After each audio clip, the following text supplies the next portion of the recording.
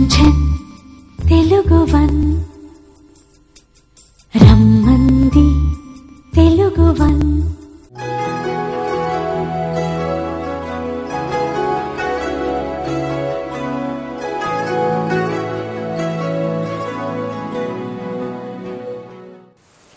మాతృదేవోభవ. క్షీరబ్ధిం జనియించెనంట ఒక ఆశీర్వాద వాక్యము విస్ఫారత్వేన నికుంజపుంజముల నా భాగ్యంబుగా దాని నోరారంభించెదనమ్మయంసు. కవిత హయ్యంగవీనమ్మును ఆ క్షీరద్వాదశి నాకు సంగెను హరిశ్రీ దృక్ప్రసాదంబుగన్. క్షీరాబ్ధిం జనియించెనంట ఒక ఆశీర్వాద వాక్యము తెలుగు వన్ టీవీ ప్రేక్షక మహాశయులందరికీ స్వాగతం పలుకుతున్నాం. ఒక్కోసారి దురదృష్టం అదృష్టంగాను అదృష్టం దురదృష్టంగాను అప్పటికప్పుడు మారిపోవడం జీవితంలో ఆశ్చర్యకరమైతే కావచ్చు కానీ అసాధ్యమేమీ కాదండి. ప్రతి ఒక్కరి జీవితంలోనూ ఏదో భయంకరమైన ప్రమాదం జరుగుతుంది అనుకున్న సందర్భంలో అది శుభ పరిణామం కావడం మనం గొప్ప ఆనందంగా సంతోషంలో ఉన్నాము అనుకున్నప్పుడు భయంకరమైనది ఏదో జరగడం ఇవి దాదాపుగా అనుభవంలో ఉండే ఉంటాయి. దీన్నే విషయాన్ని ఒక కవి చమత్కారంగా ఒక శ్లోకంలో చెప్పాడు.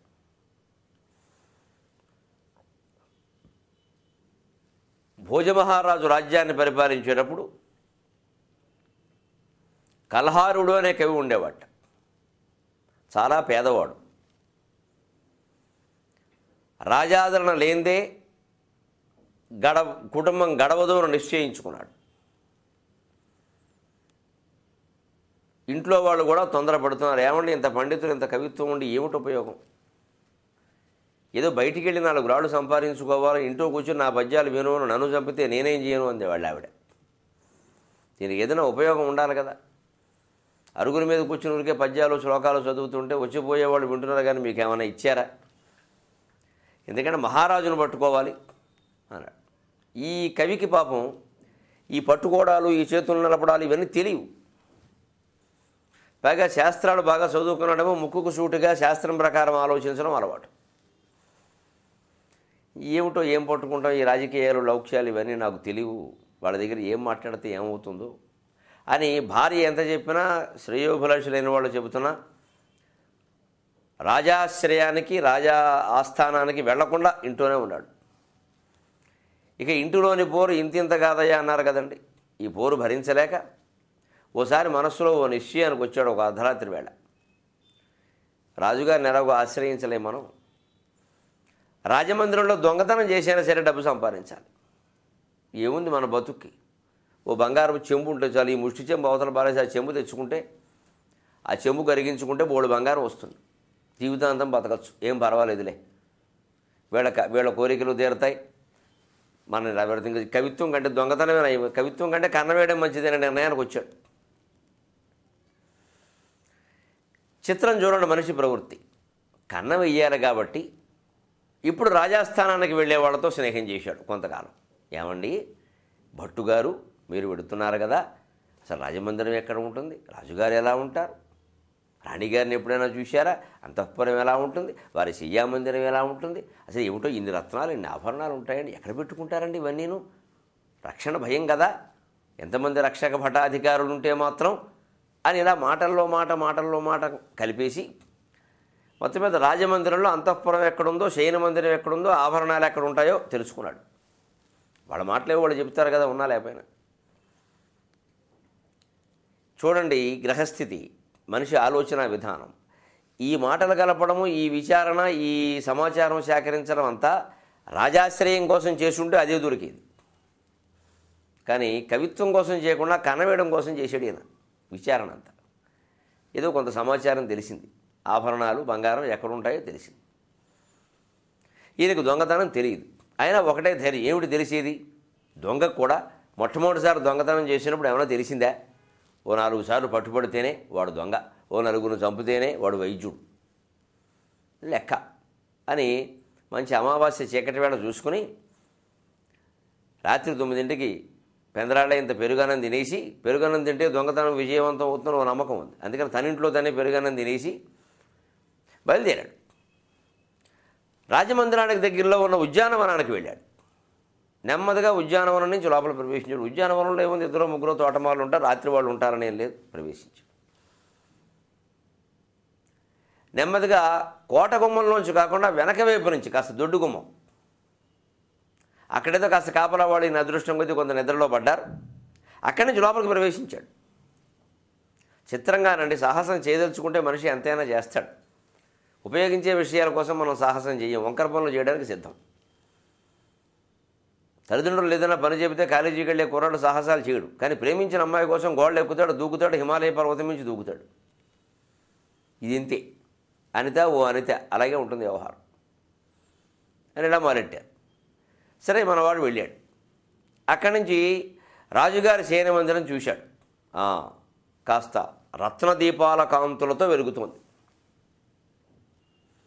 అక్కడికి నెమ్మదిగా పూల తీగల కిందికి వేలాడుతున్నాయని వీడు దుంపదిగా పూల తీగలు పట్టుకుని బైక్ ఎక్కేసాడండి కాస్త గట్టి తీగలు ఉంటాయిగా అందులో కూడాను. అవి పట్టుకుని ఎక్కేశాడు. చుట్టూ వేళ్ళు ఓడలు లాంటివి అవి పట్టుకుని ఎక్కేశాడు. చాలా సాహసం చేసి రాజుగారి సేన మందిరంలో ప్రవేశించేశాడు. ఈయన కవిత్వం చెప్పడమే కాదు కనవేయడం కూడా బాగానే వచ్చు. లోపలికి వెళ్ళాడు. కళ్ళు జిగేలు ఉంటున్నాయి అసలు ముందు ఆ రత్నాలు ఆభరణాలు తాచినటువంటి చెక్క బీరువాలు చూస్తేనే కడుపు నిండిపోతుంది. రత్నాల సంగతి పక్కనట్టండి అప్పటికి ఇంటి దగ్గర బయలుదేరి ఉద్యానవనం దాటి గోడలెక్కి ఓడలు పట్టుకుని పైకి ఎక్కేసరికి మొత్తం మీద పదకొండు అయిపోయింది. ఇంకా లోపలికి వెళ్ళాడు. అప్పటికి రాజుగారు నిద్రలో మునిగారు. ఆవేళ వేరే కార్యక్రమాలు ఏం లేవు కాబట్టి సుఖంగా నిద్రలో మునిగారు. బాగానే నెమ్మదిగా తలుపు కిర్రు మనకుండా ఓ ఓ తలుపు తీశాడు. చక్రం తీసి ఓ చెక్క తలుపు తీశాడు. ఎందుకంటే దీనికి ఓ శాస్త్రం ఉంది చోరశాస్త్రం అని. చోరాచార్యుల వారు రాశారు. మృత్యుకటికంలో చెబుతారు ఆ విషయం. శూద్రక మహాకివి. తలుపు కిర్రు మనకుండా ఆ సందుల్లో ఏమి చేయాలి. మడత బందులు ఉండే చోట్ల. కాస్త నీళ్ళు పోస్తే కిర్రు మనదట మీకు ఎలా తెలుసు అనకండి పుస్తకంలో చదివాను. మనకు కనవేయడం తెలియదు. కవిత్వం చెప్పడం తప్ప. అందుకని కిర్రు మనకుండా నీళ్ళు పోశాడు. తలుపు నెమ్మదిగా తెరుచుకొని చూస్తే ఓ అయ్యి బాబోయ్ లోపల ఇంకా అరలు అరలు వెతికిన కొద్దీ దొరుకుతున్నాయి ఆభరణాలు కానీ ఆ బీరువా నిండా బంగారు హారాలే ఉన్నాయనండి రకరకాల హారాలు. రాజుగారికి లోటు ఏమిటండి? బోళ్ళు హారాలు ఏకంగా నాభి వరకు దిగేసుకుని గంగిరెద్దులాగా బ్రహ్మాండమైన ఆభరణాలు ఆయనవి ఆయన భార్యలవి. భార్యలు బహువచనం కూడా కదా. వారందరివి అందులో ఏడు వారాల నగలు సోమవారం పెట్టి మంగళవారం పెట్టి బుధవారం పెట్టి రకరకాలు. ఇవన్నీ హారాలన్నీ ఒక చోట పెట్టారు బంగారు హారాలు. తీశాడు అమ్మయ్య మన బతుకు ఒక్క హారం ఉంటే సరిపోతుంది అని ఒక పెద్ద హారం ఒకటి తీసుకున్నాడు మళ్ళీ. ఓ గేదికేసే హారం లాంటిది. ఓ ధేనువుకేసే హారం లాంటిది ఒకటి తీసుకున్నాడు పెద్దది మళ్ళీ తిరుగు లేకుండా. మరి చేసేదేదో గట్టిగా చేయాలి తీరా తీసుకున్నాక చేదస్త పెద్ద మనిషికి ఓ శ్లోకం గుర్తొచ్చింది. అమ్మో అమ్మో అమ్మో అమ్మో. నేను శాస్త్రంలో చదువుకున్నాను చోరశాస్త్రంలోనే. నువ్వు ఏదైనా దొంగతనం చేయగానే బంగారపు హారం దొంగతనం చేయొద్దు. బంగారపు హారం దొంగతనం చేస్తే వాడు మోగవాడైపడతాడు అని ఉంది శాస్త్రంలో. ఇదే మరి వంకర పనులు చేసేవాళ్ళు ఈ శాస్త్రాల మీద ఆధారపడకూడదు ఇంకా. శాస్త్రం వంకర పని చేయమని చెబుతుందా? శాస్త్రం ఎప్పుడు ఎందుకు పుడుతుందంటే సమాజాన్ని కాపాడడానికి ధర్మాన్ని కాపాడడానికి శాస్త్రం పుడుతుంది. దాంట్లో మ- మంచిని ప్రోత్సహించడం కోసం కొన్ని రకాల నమ్మకాలు కూడా పెడతారు. నిజమైనా కాకపోయినా తప్పదు అది లేకపోతే వ్యవస్థ బాగుండదు. అందుకని అలా ఆలోచించాడు. ఆ బంగారు హారం ముట్టుకుంటే మగవాళ్ళం అయిపోతాడు. అయ్యో మగవాళ్ళం అయిపోతే ఇంకా పద్యాలు ఎలా పడతాం శ్లోకాలు ఎలా పడతాం. ఇప్పుడంటే ఏదో దొంగతనం చేస్తున్నాం ఏదో ఇంట్లో వాళ్ళని పోషించడానికి. మరి తర్వాత మళ్ళీ మనం పద్యాలు పడుకోవాలి కదా మగవాళ్ళం అయిపోతే అలాగా వద్దు ఇంకోటి ఏదైనా దొంగతనం చేద్దాం ఎందుకు వచ్చింది? అని ఆ పెట్టి ఆ చెక్క పెట్టి మూసేశాడు. ఇంకొంచెం ఇంకో పక్కకి వెళ్ళాడు. ఇంకో మరో బీరువాలో వడ్డాణాలు ఉన్నాయి వరుసగా. రాజుగారికి ఏడుగురు భార్యలు ఉన్నారేమో వీరు ఏడు రోజుల్లో ఏడు వడ్డాణాలు ధరిస్తారేమో ఏడు ఏడు నలభై తొమ్మిది వడ్డాణాలేమో. అప్పుడప్పుడు సరదా పడితే రాజుగారు పెట్టుకునే పురుష వడ్డాణం కూడా ఒకటి ఉందేమో మొత్తం మీద ఓ యాభై అరవై వడ్డాణాలు ఉన్నాయని రకరకాలు చేయించి పారేశారు. అక్కడికి వెళ్ళాడు. అమ్మయ్య ఒక్క వడ్డాణం. తీరిగ్గా ఇక మేడలో హారం అయితే ఎవరికైనా కనపడుతుంది. వడ్డాణం అయితే నడువుకు పెట్టేసుకోవచ్చు. దానిపైన ఈ పంచేది కట్టేసామనుకో ఎవరికి కనపడదు కూడా ఈ చొక్కా అది వేసేస్తే ఉత్తరయం చుట్టేస్తే ఎలాగో నడువుకు ఉత్తరయం చుడతాం కదా ఎలాంటిది? అది నడువు దగ్గర చుట్టేస్తే ఎవరికి కనపడదు కూడా. సుఖంగా దొంగతనం చేసి అని పెట్టుకున్నాడు. కొలత కూడా సరిపోయింది. అసలు పొట్ట తక్కువ ఉంది ఎప్పుడైనా తిండి తింటే కదా మరి? అందుకని సరిపోయింది. కానీ వెంటనే వీడిని బాధపడడానికి ఒక శ్లోకం గుర్తొచ్చింది. అయ్యి బాబోయ్ వడ్డాణం దొంగిలించిన వాడు అవిటివాడే పుడతాడు ఉంది ఆ శ్లోకంలో. మరి అలాగే ఉంటాయి శాస్త్రాల్లో. లేదా అన్ని దొంగతనాలు చేసి సుఖంగా ఉంటామని ఉంటుందా? వడ్డాణం దొంగిలిస్తే అవిటివాడు అవుతాడు. కాళ్ళు చేతులు లేకుండా పోతాయన్నమాట. అయ్యో కాళ్ళు చేతులు లేకపోతే డబ్బు సంపాదించుకుని మాత్రం ఏమిటి చేస్తాం? మళ్ళీ ఎవరి చేతో చాకరీలు చేయించుకోవాలి? ఈ ఉన్న డబ్బంతా వాళ్ళకి సరిపోతుంది. నేనెందుకు నా బతుకు ఎందుకు ఇంకా? అని ఆ వడ్డాణం కూడా వద్దు అని ఆ వడ్డాణం అక్కడ పెట్టేసి ఆ బీరువా మూసేశాడు. వీడికి యోగం లేదనమాట మొత్తానికి. ఇంకో ఈసారి బీరువా కదా తొండం పెట్టిన ఉండేవి. పూర్వం పెద్ద తొండం ఆకారంలో ఉండేది ఈ తాళం. పెద్ద తొండం పెట్టి తీశాడు. జాగ్రత్తగా అది పెద్ద చప్పుడు అవుదలండి. తీశాడు. అందులో ముత్యాల హారాలు ఉన్నాయి మంచి ముఖమల్లో గుడ్డల్లో పెట్టి వెండి పెట్టెల్లో పెట్టి ముత్యాల హారాలు ఉన్నాయి బా అసలు వెండి కంటే తెల్లగా ముత్యం ముత్యం కంటే తెల్లగా వెండి పెట్టెతో సహా ప్రకాశిస్తున్నాయి. ఓ పెట్టి పట్టుకెళ్ళచ్చు కదా. తీశాడు. ఓ నాలుగైదు మెడలో వేసుకున్నాడు సరదాగా. ఇలా అయ్యేసరికి మొత్తం మీద ఒంటి గంట రెండు అయింది వ్యవహారం. ఈ తీయడం ముగియడం పెట్టుకోవడం చూడడం ఈ శ్లోకాలు తాత్పర్యాలు ఇలాగే ఉంటుంది. శాస్త్ర పెద్ద మనిషి ఏ పని చేసినా ఇంతే. శాస్త్రం ప్రకారం చేస్తే కుక్క పిల్లలు పుట్టాయని శాస్త్రం ప్రకారం జరగకూడదు అని పనులు కూడా ఇది ఇందులో దొంగతనానికి శాస్త్రమేటి పేక? దొంగతనానికి పేకాటకి వ్యభిచారానికి శాస్త్రాలు ఉంటాయా? ఇదో ఇదో పిచ్చి. ఈ పిచ్చిలో మొత్తం రెండు అయిందండి చివరికి ముత్యాలహారాలు తీసాడు ఒక నాలుగో ఐదో మెడలో వేసుకున్నాడు బాగానే ఉన్నాయి. మళ్ళీ ఒకటి తీసి అక్కడ పెట్టాడు. మళ్ళీ ఓసారి శ్లోకం గుర్తొచ్చింది. చదువుకున్న విద్య ఓసారి చదువు మనిషిని పాడు చేస్తుందంటే ఇదే. డబ్బు రాకపోగా వచ్చే డబ్బును జరగొడుతుంది. ముత్యాలహారాలు దొంగలించిన వాడు అవిటివాడు అయిపోతాడు అయిపోయింది మగవాడు అయిపోతాడు గుడ్డివాడు అయిపోతాడు ఏకంగా ఉంది. ఏకంగా ముత్యాలహారాలు దొంగలిస్తే గుడ్డివాడు అయిపోతాడు రెండు కళ్ళు కనపడ అయ్యి బాబు ఈ కళ్ళు కనపడకపోతే ఎలాగ ముత్యాల హారాలు ఉంటే మాత్రం? నా ముత్యాలు నేను చూసుకుని ఆనందించాలి కదా. నేను చూడండి దానికి ఎవరు చూస్తే నాకు తెలియదు దానికి ఎందుకు ఇది? అనవసరంగా. అబ్బో కళ్ళు పోయే పనులు ఎందుకు చేయాలి? అది ముత్యాలహారాలు అక్కడ పెట్టాడు మొత్తం మీద ఈ వెరి అండి ఏం చేయాలో తెలియలేదు. ఏది ముట్టుకున్నా ఒక శ్లోకం గుర్తొస్తాం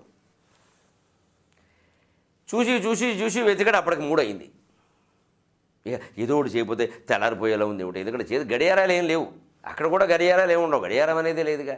కానీ మూడు గంటలకు ఒకసారి గంట కొడతారు రాజమందిరాలు. అప్పుడే మూడు గంటలు కొట్టేసారు మూడు జాములు అయిపోయింది. అమ్మమ్మ తెల్లారిపోతుంది. ఇంకా నాలుగు అయిపోతే అందరూ లేస్తారు. ఏదో ఒకటి చేయకపోతే కొంపలు అంటుకుంటాయి. అని ఇంకో తొండం పెట్టుంది అది తీసాడు అందులో ఏవో చెంబులు గ్లాసులు పళ్ళాలు చెంచాలు బంగారానివి మరి అందులోంచి ఎవడు బుద్ధి వాడిదండి. వీడికి వడ్డాణాలు కుదరలేదు. ముత్యాల హారాలు కుదరలేదు. ఏమండి? బంగారపు భారాలు కుదరలేదు చెంబు నచ్చింది వీడికి. ఎక్కడికి పోతుంది ఆ బుద్ధి? చెంబెట్టుకుని స్నానం చేయడం చెంబెట్టుకుని సంధ్యావందనం చెంబెట్టుకుని ముష్టికి వెళ్ళడం అలవాటు కదా? చెంబు నచ్చింది. ఓ బంగారపు చెంబోటి మాంచి పెద్ద లావుగా ఉంది. పెద్దది శుభ్రంగా. అది ఒకటి తీసుకున్నాడు. అమ్మయ్య ఇది ఒకటి జాలే బతుక్కి. ఎలాగో మనకి చెంబు ఆ చెంబు బదులు ఈ చెంబు పెడతాం. ఏమిటో? ఇంటి దగ్గర చెంబు అనుకునే బయలుదేరాం. ఎంతసేపటికి దొరికింది చెంబు. అని చెంబుని చూసుకుని ఆనందించాడు వెర్రివాడు. ఆ చెంబు మరి ఎలా దాచాలి? ఇప్పుడు దాని పెద్ద శ్రమ. దాన్ని ఇలా కొంగులో చుట్టాడు. దాని మీద కనపడకుండా అది బంగారం దాని మీద పెట్టి రత్నాలు కూడా పొదిగారేమో బయటికి కనపడుతుంది. అయినా సరే ఎలాగోలా కనపడకుండా దాచేశాడు. అప్పటికి నాలుగు అయిపోయింది విచిత్రంగా. ఇక తెల్లవారు వస్తుంది. ఇప్పట్లో మనలాగాను రాత్రి ఒంటి గంట వరకు టీవీలు చూసి మన్నాడు పొద్దున్న పదింటికి లేచే రకాలు కాదు వాళ్ళు. వాళ్ళు ఎనిమిదింటికే పడుకుంటారు నాలుగింటికి లేస్తారు. ఆరు గంటల నిద్ర అంతే. అందుకే చాలా చురుగ్గా వైభవపేతంగా ఉండేవారు. నాలుగింటికి నిద్ర లేవాలి ఐదింటికి సంధ్యావందనం దైవ పూజ మొదలెట్టేయాలి. ఆరు ఆరున్నర అయ్యేసరికి దైవ పూజ అయిపోవాలి నీకు కాఫీ కావాలంటే అప్పుడు తాగాలి. పూర్వం కుటుంబాలు అలా ఉండేవి. అందుకే ఐశ్వర్యంతో ఉండేవి. ఒకవేళ పేదవాళ్ళు కూడా సంతోషంగా ఉండేవారు మనసులో ఎప్పుడు దుఃఖాలు లేవు వాళ్ళకి. ఇప్పుడు పేదవాడు సంతోషంగా లేడు ఐశ్వర్యవంతుడు సుఖంగా లేడు ఇప్పుడు. ఎవడు ఏడుపు వాడిది? ఎందుకంటే ఎవరింటోనూ లక్ష్మి లేదు దారిద్ర్యం తప్ప. డబ్బు ఉంది అనుకున్నవాడి ఇంట్లో శుభ్రంగా రోగాలు ఉన్నాయి డబ్బు లేదు అనుకున్నవాడి ఇంట్లో సరే రోగాలతో సహా అన్నీ ఉన్నాయి. ఇంకేముంది? ఇది పూర్వానికి ఇప్పటికీ తేడా. అందుకని ఈయన ఈ చెంబు దాచుకుని చివరికి బయటికి వెడదామనేసరికి నగారా మోగిందండి. అమ్మ నాలుగు నాలుగున్నర అయితే మోగుతుంది మరి మోగదు. కంగారు పడిపోయాడు. అసలు దొంగతనం అలవాట్లే తప్పించుకోవడం తెలియదేమో ఇప్పుడేమో ఇదివరకు దిగడు. ఎక్కడం అంటే ఏదో అర్ధరాత్రి పాకుండా కాబట్టి ఇక్కడ ఇప్పుడు దిగుతుంటే ఎవడన్నా పట్టుకుంటే. అందుకని భయం వేసేసింది. ఏం చేయాలో తెలియలే ఏం చేయాలో తెలియలే. అక్కడ రాజుగారు పడుకునేటువంటి మంచం ఒకటి కనపడింది పెద్ద మంచం. దాని మీద ఇలా దుప్పట్లు అవి వేసి కిందకి పరి వాల్చేసి ఉంటాయి ఆ దుప్పట్లు. అందుకని ఎవరికి కనపడకుండా ఆ మంచం కింద దూరిపోయాడు తెల్లారాక ఏ తొమ్మిదో పదో అయ్యాక మొత్తం మీద ఇక్కడ ఎవరూ లేకుండా చూసి నెమ్మదిగా తప్పించుకుందాలి అని చెంపు మాత్రం వదలలేదండి. ఇలా పెట్టుకున్నాడు. పెట్టుకుని దాని ఉత్తరీయంలో కప్పేసి ఉన్నాడు. తెల్లవారెను కోడి కూశను తెలుగు లెంకమ పేడకెళ్ళెను ఎదుతన్నెను నడ్డి విరిగెను రామరాము అని ఓ సుప్రభాతం ఉందిలండి. కౌశల్య సుప్రజారామ ఎంత ప్రసిద్ధమో ఇది అంత ప్రసిద్ధం. ఆ స్థాయిలో అదైతే ఈ స్థాయిలో ఇది. అలా చొప్ తెల్లవారింది. రాజుగారు ఐదు గంటలకే లేచారు. చాలా హడావిడి. వంది మాగసులు మూరురాయ రగండ చెండ ప్రచండ ఏదో పొగుడుతున్నారు ఎప్పుడు తోచింది వాడు. బ్రాహ్మణులు అప్పుడే శ్లోకాలు చదువుతున్నారు. రాజుగారు లేచారు మంగళ స్నానానికి బయలుదేరి ఓ నలుగురు కూర్చోబెట్టారు స్నానం చేయించారు. శుభ్రంగా అలంకరించుకున్నాడు. ఏడు ఎనిమిది అయ్యేసరికి వచ్చి ఇక్కడ మంచం మీద కూర్చున్నాడు మళ్ళీ అంతఃపురంలో ఈ సరిగ్గా ఈ కవి గారు కింద ఉన్నాడే దొంగతనం చేసిన కవి. ఈయన ఉన్న మంచం మీదే. ఆ కింది కాళ్ళు ఇలా వేలాడుతూ ఇలా కనపడుతున్నాయి. ఆ కాళ్ళకు ఉండేటువంటి ఆభరణాలు గండపెండేరాలు లాంటివి ఉంటాయి కదా మహారాజులకు లోటే ఉందండి. అవి కనపడుతున్నాయి. అయ్యో ఇదోడు పుచ్చుకున్నా బాగుండలేరు. ఇప్పుడు చెంబుకి ఎంతసేపు పట్టింది వీడు గండ పెండేరం తలుచుకుంటే వీడికి పెండేరని దక్కదు గండం మిగులుతుంది. అని మనస్సు నిగ్రహించుకుని కూర్చున్నాడు అది కష్టమే ఈ లోపు ఓ చిత్రం జరిగిందండి. దురదృష్టాలు అదృష్టాలు అయిపోవడం అదృష్టాలు దురదృష్టాలు అయిపోవడం అంటే ఇది. దురదృష్టకరమైన జీవితం అదృష్టం అవుతుందని దొంగతనానికి వచ్చాడు. దొంగతనంలో అనుకున్నవి దొరకబోగా ఏదో చెంబు దొరికింది. ఫోన్ లేని సంతోషపడుతున్నాడు. పట్టుపడతావేమో అనే బెంగలో ఉన్నాడు. ఇప్పుడు ఇతని జీవితం చూడండి ఎలా మారుతుందో. ఆ రాజుగారికి ఉదయం వేళ బంధువులు మిత్రులు అందరూ వచ్చి అక్కడ స్తోత్రాలు చేస్తూ ఉంటే కనపడుతూ ఉంటే పుత్రులు ఎదురుగా నిలబడి నాన్నగారు ఏమి ఆజ్ఞ అంటూ ఉంటే భార్యలు ప్రియంగా మాట్లాడుతూ ఉంటే సేవకులంతా సేవ చేస్తూ ఉంటే చాలా ఆనందంగా అనిపించింది ఆ ఉదయం వాతావరణం ఏడున్నరకి. భోజమహారాజు స్వయంగా కవి రామాయణం రచించిన వాడు చెంపు రామాయణం అని. ఎందుకని వెంటనే ఓ శ్లోకం అందుకున్నాడు చేతోహ రాజువతయక సుహృదో అనుకూలాక చేతోహ రాజువతయ సుహృదోనుకూలాక అన్నాడు. అబ్బా ఈ స్వాగతం చెప్పేటువంటి యువతులు ఎంత అందంగా ఉన్నారో. వీళ్ళు చేతోహరాక నా మనస్సును హరిస్తున్నారు మనోహరంగా ఉన్నారు. సుహృదో అనుకూలాక మిత్రులు సుహృద వీళ్ళందరూ నాకు అనుకూలంగా ఉన్నారు. ఎంత గొప్పది నా జీవితం. అని ఆయన ఆయన వైభవాన్ని ఆయన తలుచుకుని మురిసిపోతున్నాడు. చేతోక రాయువతయక సుహృదోనుకూలాక సద్బాంధవాక ప్రణయ గర్భగిరశ్చ పుత్రాక. బంధువులు కనపడ్డారు చాలామంది మేనమావులు మేనల్లుళ్ళు మేనత్తలు వాళ్ళ భర్తలు ఎవరెవరో. నాయనా నువ్వు బాగుండాలి నాయనా నువ్వు బాగుండాలి ఎందుకంటే ఈయన బాగుంటే వాళ్ళందరూ బాగుంటారు. అందుకని సద్బాంధవాక ప్రణయ గర్భగిరశ్చ ప్రణయం ప్రేమతో మాట్లాడుతున్నటువంటి బంధువులు కనపడ్డారు. ఆ కవిత్వం చూడండి. ప్రణయ గర్భగిరహ ప్రేమతో నిండిన మాటలు మాట్లాడేటువంటి వాళ్ళు అని చెప్పడానికి ప్రణయ గర్భగిరహ అని వాడాడు. ప్రేమవాక్యములు మాట్లాడువారు అంటే వాచ్యత అవుతుంది. ప్రణయ గర్భగిరహ అంటే కవిత్వం అవుతుంది తేడా అది. కవిత్వం అంటే ఊరికే చెప్పేకూడదు దాన్ని కాస్త వ్యంగ్యంగా పరోక్షంగా చెప్పాలి. ప్రణయ గర్భగిరహ నా బంధువులంతా ఎంత మంచివాళ్ళు. పుత్రాహ. అబ్బా పుత్రుడు మంచి యువకులు ఓ ఇద్దరు ముగ్గురు ఉన్నారు. పెద్ద కొడుకు. యువరాజ్యం ఎప్పుడు ఇచ్చినా సిద్ధ స్వీకరించడానికి సిద్ధంగా ఉన్నాడు. బా నాకు ఏ చింత లేదు. నా మిత్రుడు అనుకూలంగా ఉన్నారు. పుత్రుడు ఎదిగి ఉన్నారు. బాధ్యతలు స్వీకరించడానికి సిద్ధంగా బంధువులందరూ నన్ను ప్రేమిస్తున్నారు. మనోహరంగా ఉదయాన్నే స్వాగతం చెప్పే యువతులు నా కోసమే అన్నట్టుగా ఉన్నారు వాళ్ళందరూ. ఎంత బాగుంది వాతావరణం. ఈలోపు ఏనుగుల హింకారాలు వినపడ్డాయి. ఎందుకంటే పూర్వకాలం రాజమందిరానికి దగ్గరలోనే గజశాల అశ్వశాల ఉండేవి. అశ్వశాలని మందురం అనేవారు. గజశాల ప్రత్యేకంగా ఉండేది. ఆ గజశాలలో ఏనుగులు ఘీంకారాలు చేసి "ఆ, గర్జంతి దంతి నివగాక తరడాస్తురంగాక ఎగిరెగిరి పడుతున్నాయి గుర్రాలు హైహేషలు హేషానాదం చేస్తున్నాయి సకిలిస్తున్నాయి హేష అంటారు సంస్కృతంలో సకిలింపడ్డారు తెలుగులో. ఏనుగు ఘీంకరిస్తోంది పెడబొబ్బ పెడుతోంది. ఆ ఘీంకారాలు ఈ హై హీ హరి ఈ హేషాకారాలు ఇవన్నీ చాలా ఆనందంగా ఉండి ఏనుగులు గర్జిస్తున్నాయి. గర్జంతి దంతి నివహాహ. తరళాస్తురంగా ఎంత బాగుంది వాతావరణం. అని ఒక్కసారి ఇవన్నీ అనుకున్నాడండి. ఇంకొక చరణం ఉంది శ్లోకం ముగించాలి. మనోహరంగా ఉన్నారు యువతులందరూ. మిత్రులు నాకు అనుకూలంగా ఉన్నారు. బంధువులంతా ఎంతో ప్రేమతో మాట్లాడుతున్నారు. పుత్రులు మంచి దృఢంగా ఉండి బాధ్యతలు స్వీకరించడానికి సిద్ధంగా ఉన్నారు. ఏనుగులు ఘేంకరిస్తున్నాయి. గుర్రాలు హ్రీంకారం చేస్తున్నాయి. ఎంత అందంగా ఉంది నా జీవితం. జీవితం అంటే ఇది. ఇన్ని వైభవాలు ఇంకెవరికైనా ఉన్నాయా? అన్న భావనతో ఉండి నాలుగో పాదం ఏం చెబుదామా అని ఆలోచిస్తున్నాడు. ఇంతవరకు వస్తు కళ ఏది ఉందో చెప్పాడు. ఇందులో పెద్ద మహత్తరమైన కవిత్వం లేదు నిజానికి. ఏదైనా ఉంటే శివరపాదంలో రావాలి. శివరపాదం ఏం చెప్పనా అని రాజుగారు ఇలా ఆలోచిస్తూ ఉంటే కింద ఉన్నాడే కవి ఎక్కడికి పోతుండే జాతి లక్షణం. కలహారుడు మహాకవి. వెంటనే ఆపుకోలేక దొంగతనం చేసి పట్టుబడిన మంచిది కానీ కవిత్వం చెప్పకుండా ఉండడానికి వీలేదు అని వెంటనే నాలుగో పాదం అందుకుంటా సమ్మీలనే నయనయోహో నకి కించిదస్తి అన్నట్టు రాజుగారి కింద పడ్డాడు ఒకసారి ఎవడరా వీడు? ఇందుకే దాని అర్థం ఏమిటండి? సమ్మీలనే నయనయోహో అయ్యా అందమైన యువతలు ఉన్నారంటున్నావు ఏనుగులు గేంకరిస్తున్నాయన్నావు గుర్ర గుర్రాలు హెంకారం చేస్తున్నాయన్నావు పుత్రులు బాధ్యతలు స్వీకరించడానికి సిద్ధంగా ఉన్నారు నలుగురు కుమారులు ఉన్నారంటున్నావు. మంచి మిత్రుడు ఉన్నారంటావు బంధువులు ఉన్నారంటావు ఇన్ని వైభవాలు ఉన్నారంటావు వెర్రివాడ ఒక్కసారి కళ్ళు మూసుకుంటే ఇవన్నీ పోయినట్టే కదా అన్నాడంతే. సమ్మీలనే నయనయో నహి కించిదస్తి. నువ్వు గనక కన్ను మూస్తే ఈ జీవుడు అనేవాడు లేకపోతే ఈ భోగాలు ఏమైనా వాడికి ఉన్నాయా? వెర్రివాడా జీవుడు ఎవడో తెలుసుకోకుండా నేనెవరో అని ఆలోచన చేయకుండా ఈ భోగాలన్నీ చూసుకు ఆనందిస్తావేమిటాయా ఈ మిత్రుడు ఇవాళ అనుకూలంగా ఉంటారు రేపు ప్రతికూలంగా ఉంటారు. ఈ పుత్రుడు ఇవాళ బాధ్యతలు ఇస్తే తీసుకుంటా ఉంటారు రేపు పొద్దున ఇస్తావా సస్తావా అంటారు. షాజహాన్ని జైల్లో పెట్టి అధిక అధికారానికి వచ్చిన ఔరంగజేబులాగా.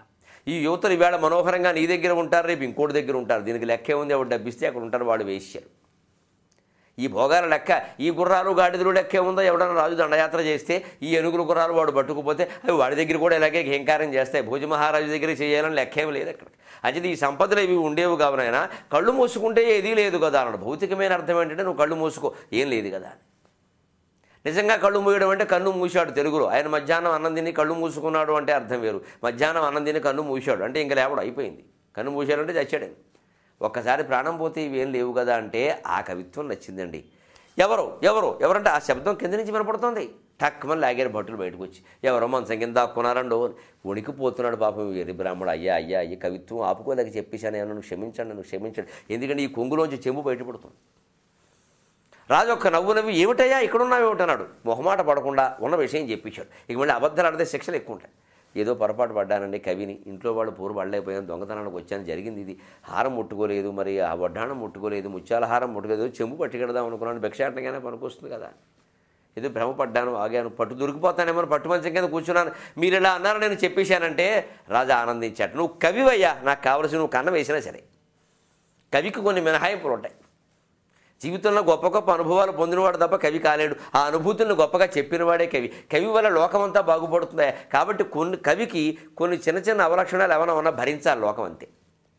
కొందరు కొన్ని మినహాయింపులు ఉంటాయి ఆ లోకంలో అంతే. కవి చెప్పినట్టు చేయాలి కవి చేసినట్టు చేయకూడదు. నువ్వు కవివి నేను నిన్ను గౌరవిస్తున్నా. ఈ చెంబు కాదు. నిజంగా నీకు ఇప్పుడు వెరి నమ్మకాలు లేకపోతే ఆ హారాలు కూడా నీకు ఇస్తాను. వద్దండి. నా నమ్మకం నాకు ఉందన్నాడు ఆయన గొప్పతనం చూడండి. ఆ స్వచ్ఛత. ఈ చెంబు ఒక్కటి చాలు. నాకు శిక్ష వేయకుండా చాలండి ఒక్క చెంబే ఉంటాయా ఎవరక్కడ? ఈయనకి ఏడు వారాల చెంబులు ఇవ్వండి అన్నాడు. తిరుగులేదు ఇంకా ఏడు రోజులు ఏడు వారాలు ఏడు చెంబులతో ఉష్టెత్తుకోవచ్చు ఏడు వారాల నగర వాళ్ళకి ఏడు వారాల చెంబులు. ఈయనకి మొత్తం మీద ఈయనకి ఏది యోగం ఉందో అదే వచ్చింది. గమనించండి. ఇంకోటి రాలేదు. అందుకే అన్నారు మనకి ప్రాప్తం ఉన్నది వస్తుంది. అందుకే ఆ ఏడు చెంబులు పట్టుకుని వెరిబ్రాహ్మడు ఇంటికి వెళ్ళి ఆవిడ ఆడికి ఆవిడకి ఇస్తే హాయిగా ఫోన్లో ఏవయ్యా మూడు చెంబులు పట్టుకొచ్చామని చెప్పేసి ఓ చెంబు నీళ్ళకి ఓ చెంబు కాళ్ళకి మరో రకంగా వాడుకుంటూ ఆవిడ ఈయన కూడా సంతోషంగా ఉన్నారు. కవిత్వం ఇంత గొప్ప ప్రయోజనాన్ని ఇస్తుంది అని ఒక చమత్కారమైన కథ రూపంలో చెప్పారు. మళ్ళీ వారం కలుద్దాం. మరిన్ని చమత్కార విశేషాలు చెప్పుకుందాం. సెలవు.